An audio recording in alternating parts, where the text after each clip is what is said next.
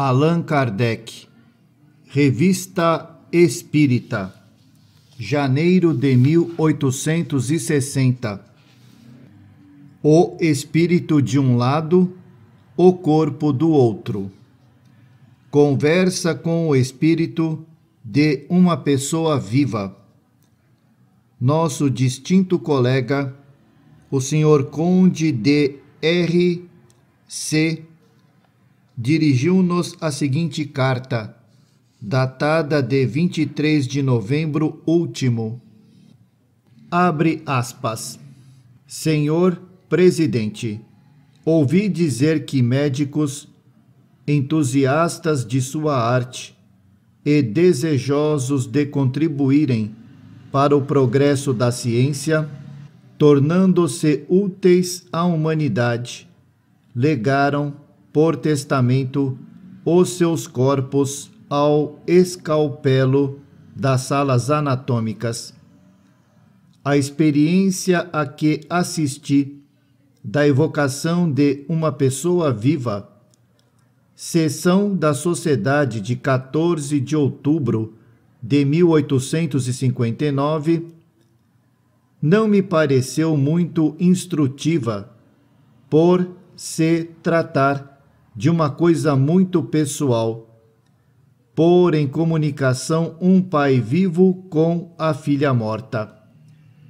Pensei que aquilo que os médicos fizeram pelo corpo, um membro da sociedade poderia fazer pela alma, ainda em vida, pondo-se à vossa disposição para um ensaio desse gênero.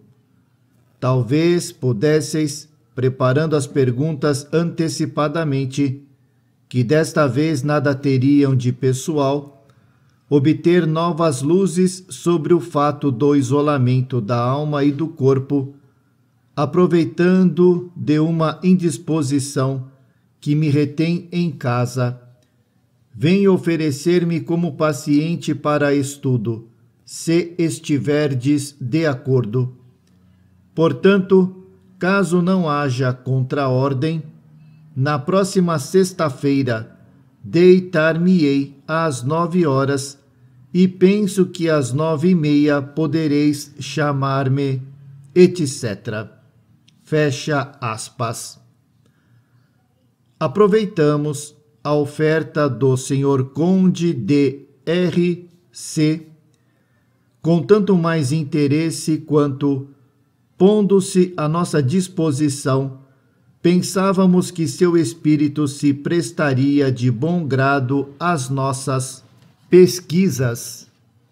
Por outro lado, sua instrução, a superioridade de sua inteligência, o que, abrindo parênteses, não o impede de ser um excelente espírita, e a experiência que adquiriu em suas viagens em torno do mundo como capitão da Marinha Imperial faziam que esperássemos de sua parte uma apreciação mais justa de seu estado. De fato, não nos enganamos. Em consequência, tivemos com ele as duas conversas que se seguem. A primeira, a 25 de novembro e a segunda a 2 de dezembro de 1859. Sociedade, 25 de novembro de 1859. 1. Um, evocação. Resposta: Estou aqui. 2. Neste momento, tendes consciência do desejo que manifestastes de ser evocado? Resposta: Perfeitamente. 3. Em que lugar vos achais aqui? Resposta: Entre vós e o médium. 4. Vede-nos tão claramente como quando assistis pessoalmente às nossas sessões? Resposta: Mais ou menos embora um pouco velado, ainda não durmo bem. 5. como tendes consciência de vossa individualidade aqui presente, ao passo que vosso corpo está no leito? Resposta: Neste momento, meu corpo não me é senão um acessório. Sou eu que estou aqui. Observação: Sou eu que estou aqui é uma resposta deveras notável. Para ele, o corpo não é a parte essencial de seu ser. Esta parte é o espírito, que constitui o eu. O seu eu e o seu corpo são duas coisas distintas. 6. Podeis transportar-vos instantaneamente e à vontade daqui para a vossa casa e vice-versa? Resposta: Sim. 7. Indo e vindo daqui para a vossa casa, tendes consciência do trajeto que fazeis? Vedes os objetos que estão no caminho? Resposta: Eu o poderia, mas negligencio fazê-lo. Não me interessam. 8. O estado em que vos encontrais é semelhante ao de um sonâmbulo? Resposta: Não completamente. Meu corpo dorme, ou seja, está mais ou menos inerte. O sonâmbulo não dorme, suas faculdades estão modificadas, mas não aniquiladas. 9. O espírito evocado de uma pessoa viva poderia indicar remédios como um sonâmbulo? Resposta: se os conhecer, ou caso se ache em contato com um espírito que os conheça, sim. Do contrário, não. 10. A lembrança de vossa existência corporal está claramente presente em vossa memória? Resposta muito clara. 11. Poderíeis citar algumas de vossas ocupações mais destacadas do dia? Resposta: Poderia, mas não o farei, e lamento ter proposto esta pergunta. Abre parênteses, ele havia pedido que lhe dirigissem uma pergunta desse gênero como prova. Fecha parênteses. 12. É como espírito que lamentais ter proposto esta questão? Resposta: Como espírito. 13. Por que o lamentais? Resposta: Porque melhor compreendo quanto é justo que, na maior parte dos casos, seja proibido fazê-lo. 14. Poderíeis descrever o vosso quarto de dormir? Resposta: Certamente eu o do porteiro também. 15. Pois bem, descrevei então um deles. Resposta: Eu disse que poderia, mas poder não é querer. 16. Qual a doença que vos retém em casa? Resposta: a gota. 17. Há um remédio para a gota? Se o conheceis, poderíeis indicá-lo, pois prestaríeis um grande serviço. Resposta: Poderia, mas me guardarei de o fazer. O remédio seria pior que o mal. 18. Pior ou não, quereis indicá-lo, mesmo que não venhais a vos servir dele? Resposta: Há vários, entre os quais o lírio verde. Observação: Ao despertar, o senhor de R reconheceu jamais ter ouvido falar do emprego desta planta como específico antigotoso. 19. Em vosso estado atual, veríeis um perigo que poderia correr um amigo e poderíeis vir em seu auxílio? Resposta: Poderia, inspirá-lo-ia, se ouvisse a minha inspiração e, ainda com mais proveito, se fosse médium. 20. Desde que o evocamos por vossa vontade, e que vos pondes à nossa disposição para estudos, tende a bondade de descrever, o melhor possível, o estado em que vos encontrais agora. Resposta: Estou no estado mais feliz e mais satisfatório que se possa experimentar.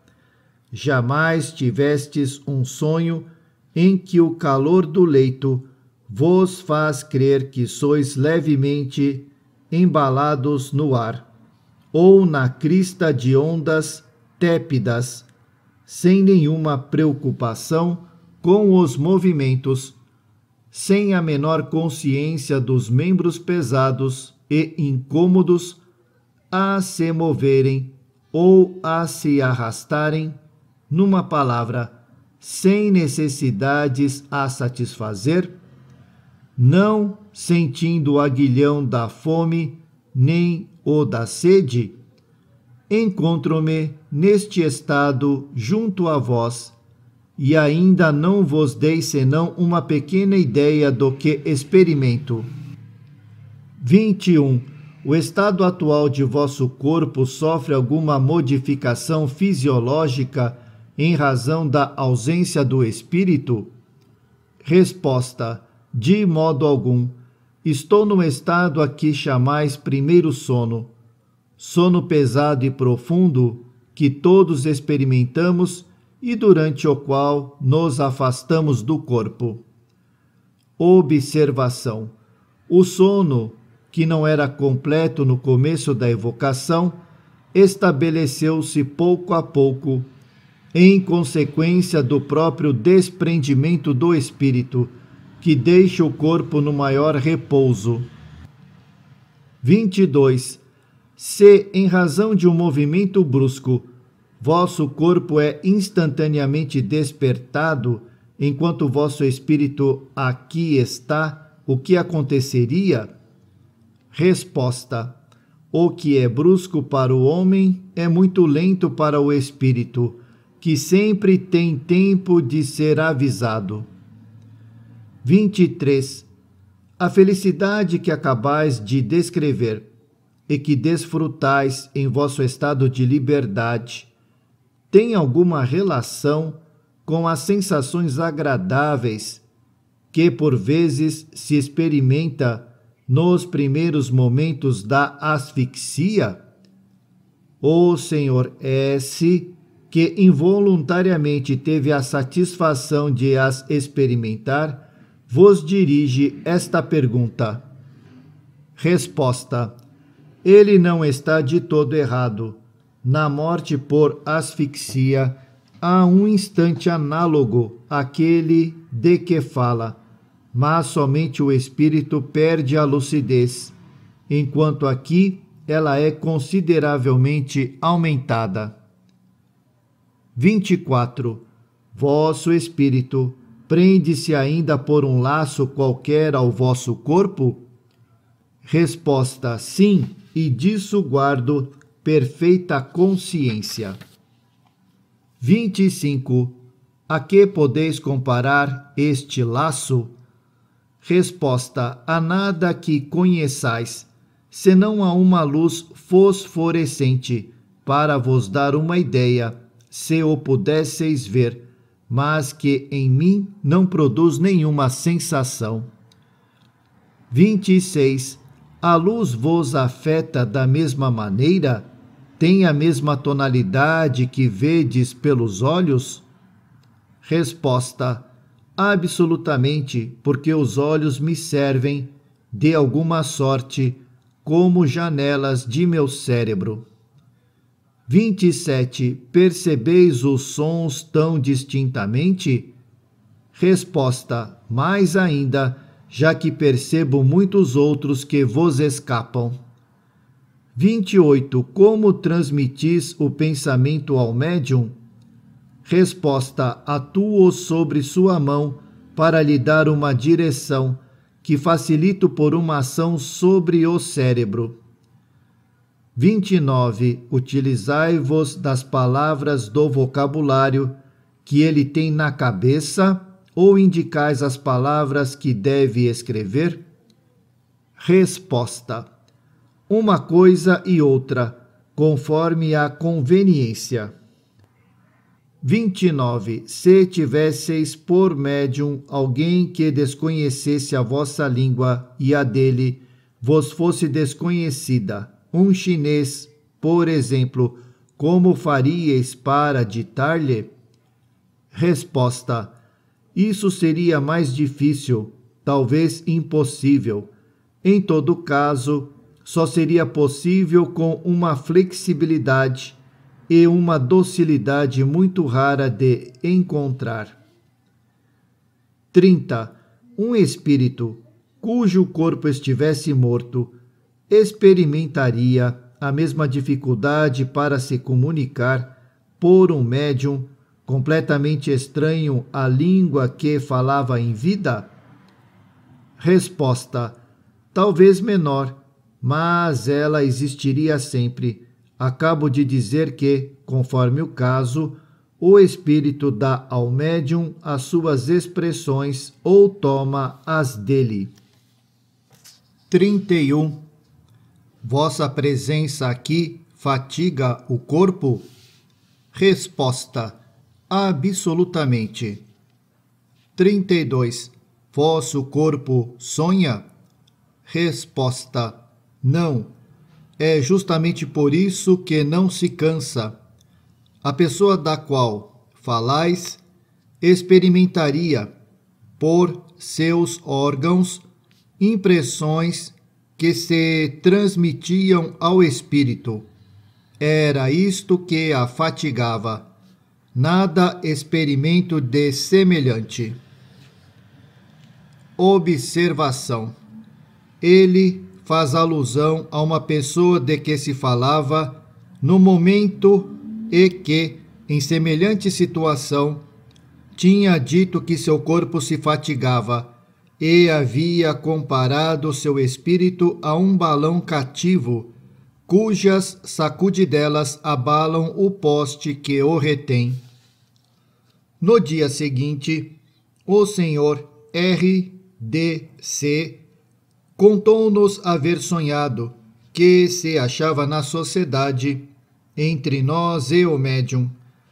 Evidentemente, é uma lembrança da evocação é provável que no momento da pergunta não sonhasse, pois respondeu negativamente.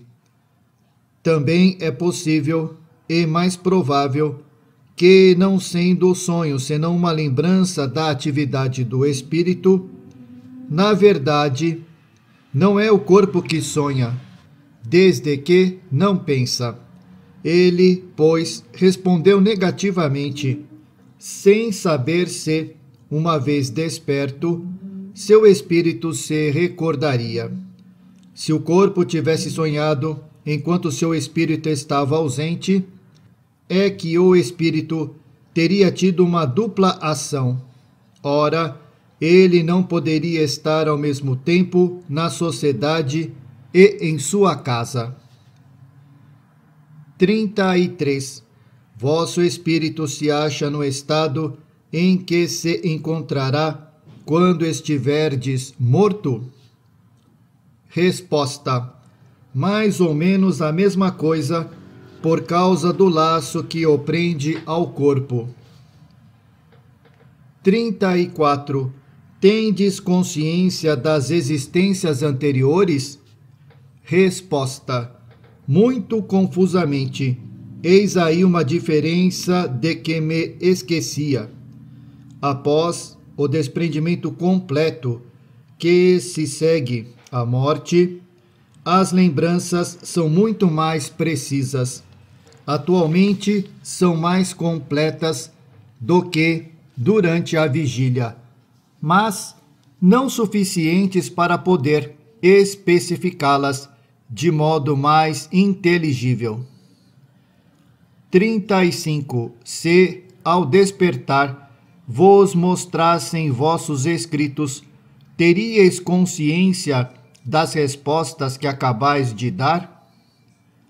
Resposta: Poderia identificar alguns de meus pensamentos, mas muitos outros não encontrariam nenhum eco em meu pensamento quando acordado. 36. Poderíeis exercer sobre o corpo uma influência de tal forma intensa que fosse capaz de o despertar? Resposta: Não.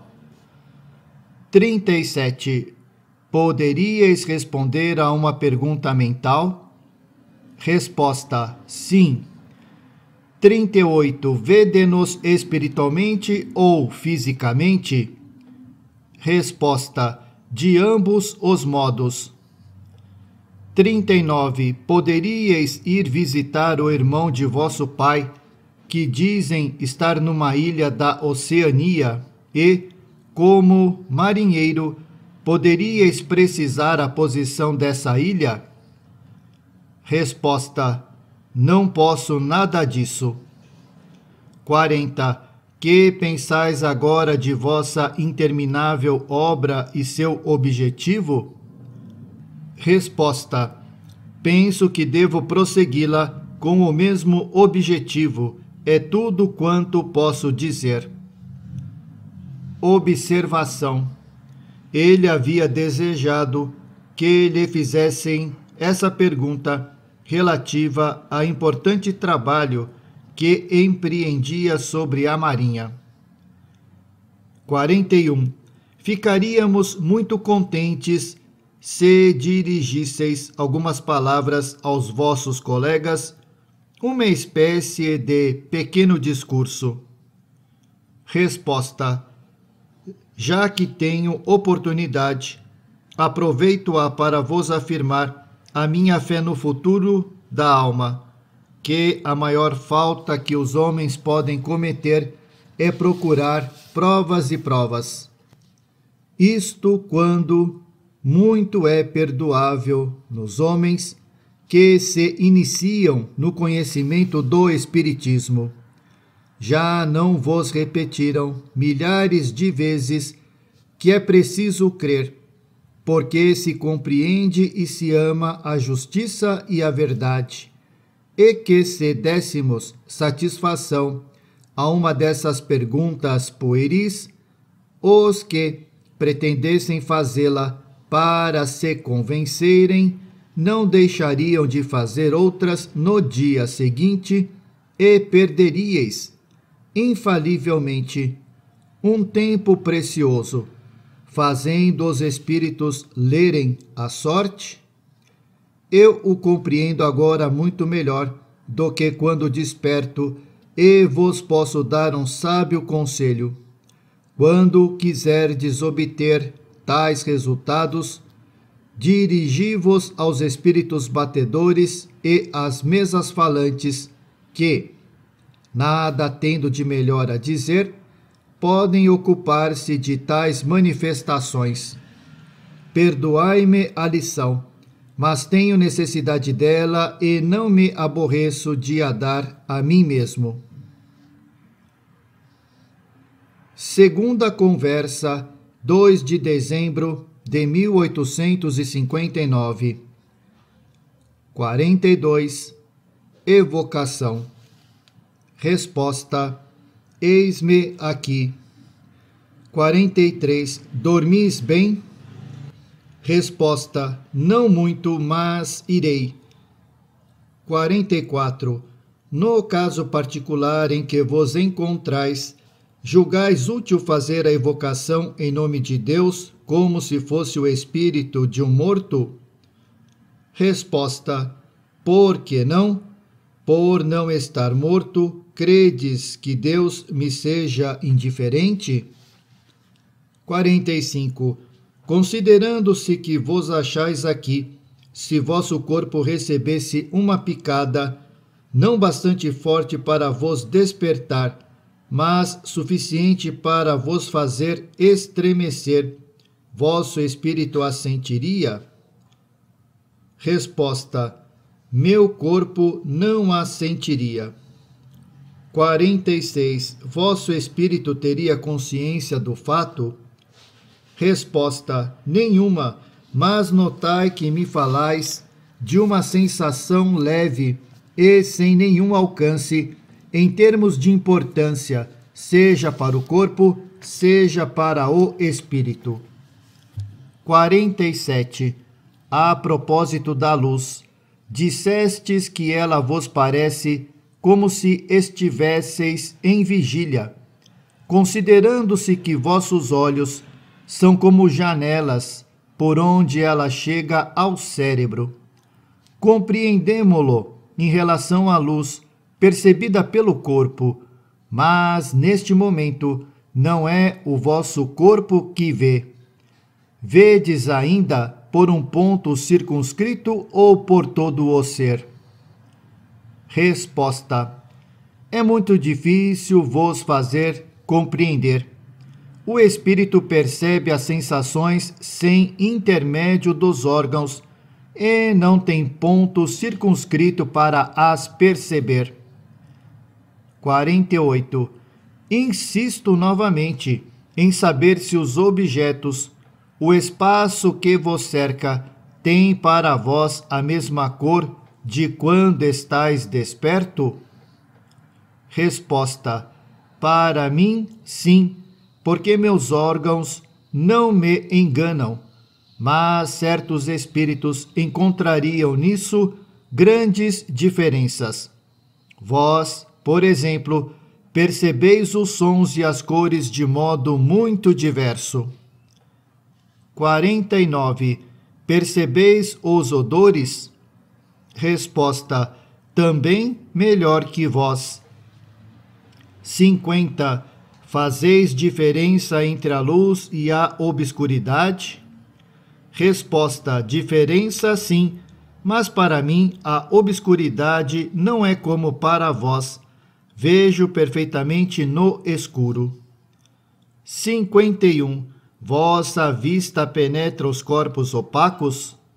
Resposta: Sim. 52. Poderíeis ir a um outro planeta?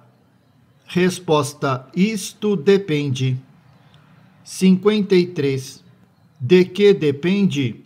Resposta: Do planeta. 54. A que planeta poderíeis ir?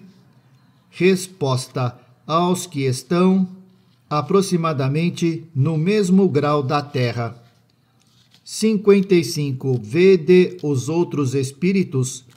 Resposta: Muitos e ainda. Observação: Uma pessoa que o conhece intimamente, presente à sessão, disse que essa expressão lhe é muito familiar, vendo nisso, assim como em toda a forma da linguagem, uma prova de identidade. 56. Vede-os aqui? Resposta: sim. 57. Como constatais sua presença? Por uma forma qualquer? Resposta: Por sua forma própria, isto é, por seu perispírito. 58.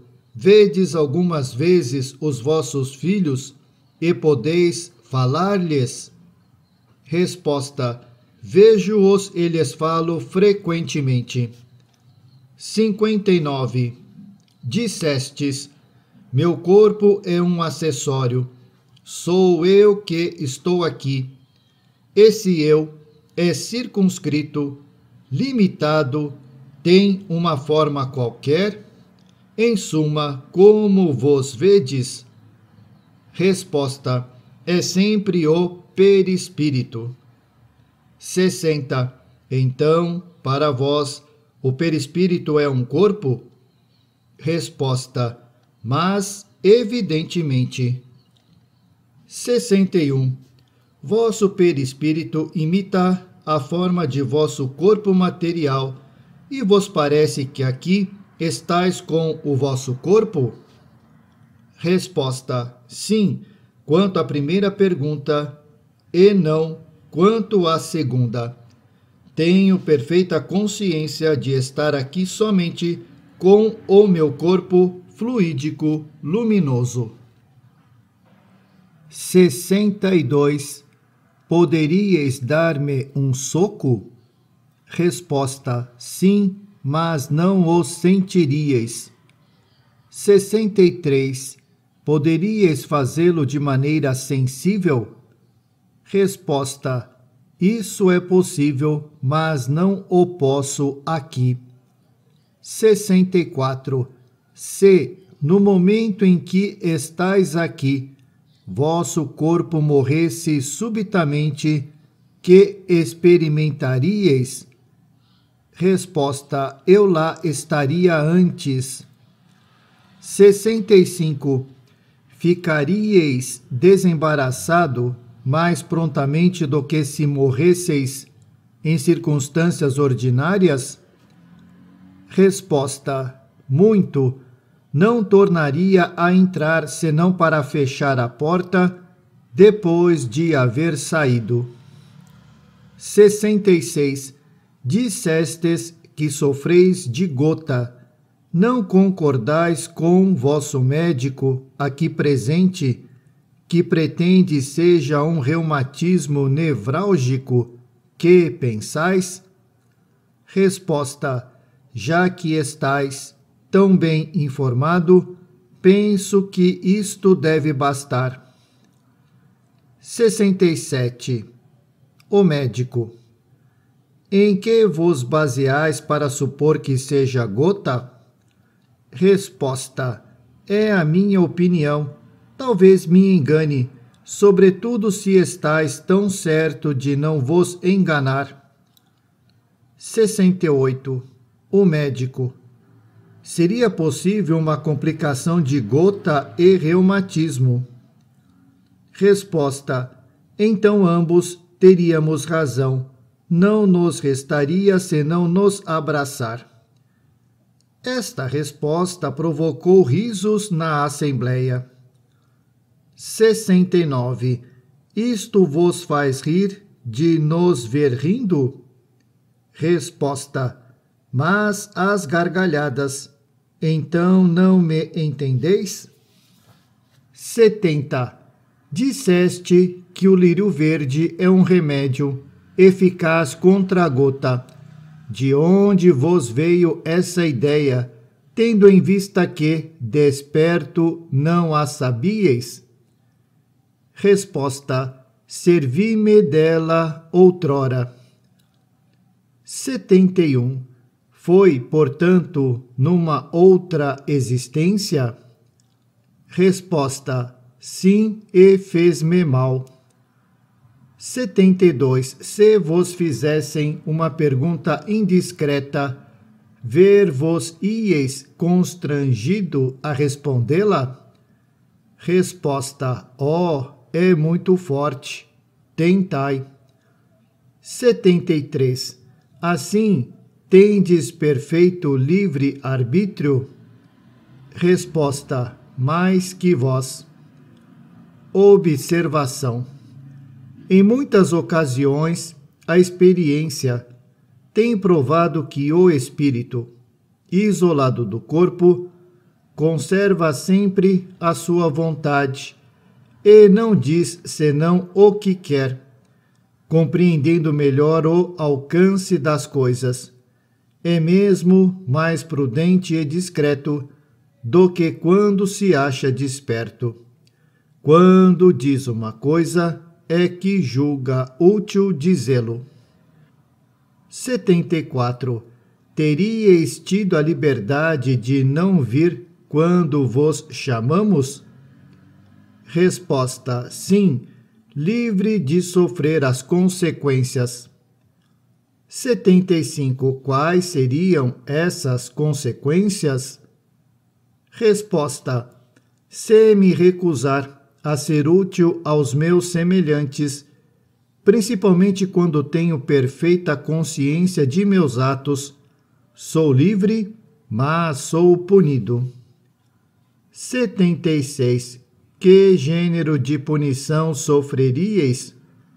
Resposta: Seria necessário vos desvelar o código de Deus, e isso seria muito longo. 77. Se neste momento alguém vos insultasse, dizendo coisas que, desperto, não suportaríeis, qual o sentimento que experimentaríeis? Resposta: O desprezo. 78. Então não procuraríeis vingar-vos? Resposta: Não. 79. Fazeis uma ideia da posição que ireis ocupar entre os espíritos quando lá estiverdes completamente? Resposta: Não, isto não é permitido. 80. No estado atual em que vos achais, credes que o espírito possa prever a morte do corpo? Resposta: Algumas vezes. Contudo, se tivesse que morrer de repente, sempre teria tempo de a ele voltar.